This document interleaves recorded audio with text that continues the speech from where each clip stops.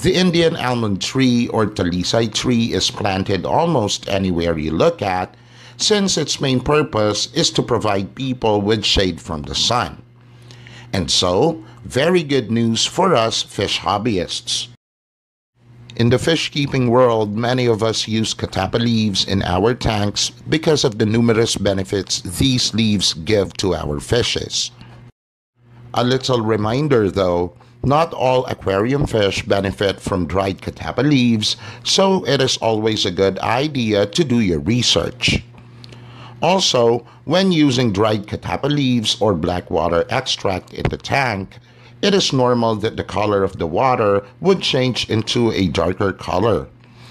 Normally, the water would become yellowish or brownish or a little lighter than coffee.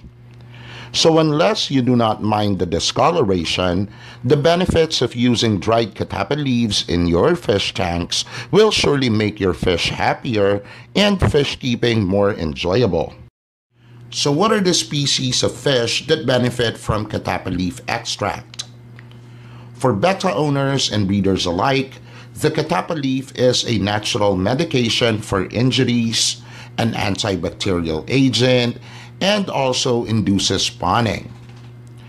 It also allows betta owners to condition their fish in preparation for a fight. Similarly, angelfish owners use catappa leaf extract to condition their tank water, especially during breeding season. The catappa leaf also acts as medication when their angelfish are suffering from disease or injuries due to fights and promotes better appetite. However, those are not the only benefits that angelfish owners get from catappa leaves. Like me, I use catappa leaves in my angelfish tank to give it a natural look since the tannin the leaf produces mimics the color of the water in their natural environment. In fact, I even put pieces of catappa leaves in my angel fish tank for a more natural look. As for some discus owners, and as we probably all know, discus fish has its own requirements when talking about water quality. In the wild, these fish prefer soft and acidic water, and this is where catappa leaves do their job. While captive bred discus are more tolerant of water from the faucet or stock water, the catappa leaves still absorb added minerals from the tap, then replace them with tannins, thus mimicking the home or natural water of this species. Now, talking from experience, when I used catappa extract with my discus tank, I noticed an improvement in their coloration, appetite, and shape. I also noticed that they started to pair up and eventually the established pairs spawned. Now, for arowana enthusiasts, some of us use catappa leaves since, like other fish, these leaves are believed to be beneficial in several ways to our arowanas. The first benefit is that it helps lower the pH level in our tanks. One of the problems that arowana owners encounter is fluctuating or high pH level. So, using Catappa can help lower the pH of our tanks, making the water soft and acidic, which arowanas enjoy. And when dosed regularly with the same amount or the same number of leaves in the tank, the Catappa can maintain the pH of our tanks at constant level. Next is that Catappa helps in the recovery process which results from injuries. I have been keeping my arowanas in one tank and at present my main tank houses three super reds and two albino silvers.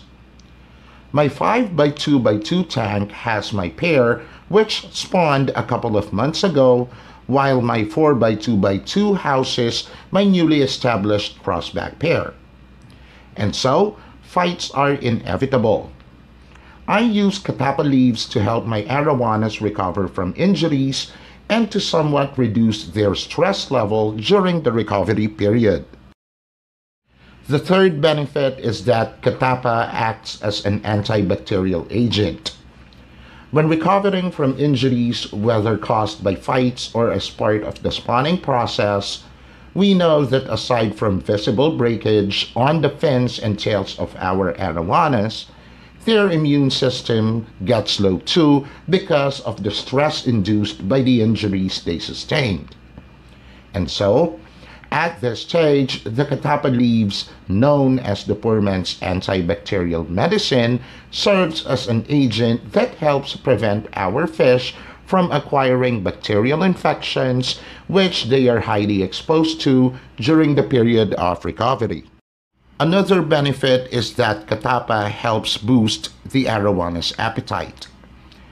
Again, talking from experience, one thing I noticed when I started using catappa leaves was that my arowanas appetite increased. Whenever they felt that it was feeding time, they raced into the spot where I used to give them food. Even those that were at the losing end of a fight or the ones that were recovering from injuries, which, as we all know, would normally resist food would hustle for position just to get their meal. Lastly, Catappa helps with the color development of arowanas. From my observation again, the Catappa leaves helped in developing the color of my arowanas. Reds and golds alike, I noticed that when I used Catappa or black water extract on my tanks, the colors of my red and gold arowanas gradually improved. Maybe due to the fact that they are provided with better water quality, which I feel contributed in the overall well-being of my fish. Thus, pushing their potential further into showing their beauty. So now that we have already discussed the benefits of using catappa leaves or extract for arowanas, let us now talk about how catappa is prepared. But before we jump into the preparation of catappa leaves or black water extract, let us first talk about the amount or the number of dried catappa leaves that we should use for our tanks. My personal dose for this is one big catappa leaf for every 30 gallons of tank water or two small sized catappa leaves for every 30 gallons of water. When using catappa extract or black water extract, and to give you an idea, my main tank is 327 gallons with a 93 gallon sump, which has the total water volume of 420 gallons, so I use 1 gallon of catappa extract for it. With my 150 gallon tank, I dose it with 1.5 liters of catappa extract and for my 4x2x2 tank, which is 120 gallons, I dose it with a liter of Catappa extract. So now let us discuss how the dried Catappa leaves are used in the aquarium. The very first thing to do is to thoroughly wash each leaf so as to remove dirt. Remember that you are using dried catappa leaves, so most probably you pick them from the ground where people might have stepped on, or maybe you got them from the city street where pollution is very common. So, it is always best to clean the dried catappa leaves first before using them in your fish tanks. Alright, the first thing is by using a tea bag or net bag. What many hobbyists do is to place some dried catappa leaves in a tea bag or a net bag and place the bag in one of the chambers of their sump. This method is preferred by many since this process would allow the dried catappa leaves to release tannins gradually into the tank. Also, since the bag with catappa leaves is hidden in the sump, eyesore would not be an issue. Another method is by placing several dried catappa leaves in a container. For others who do not have the luxury of a sump and having a bag full of dried leaves in the tank is an issue, putting some dried catappa leaves in a container and waiting for the dried leaves to release tannins for several days is a more preferred approach. This process normally takes several days to a week before the extract is ready to be used. Once ready, they simply pour the black water extract into the tank. The next is boiling the catappa leaves.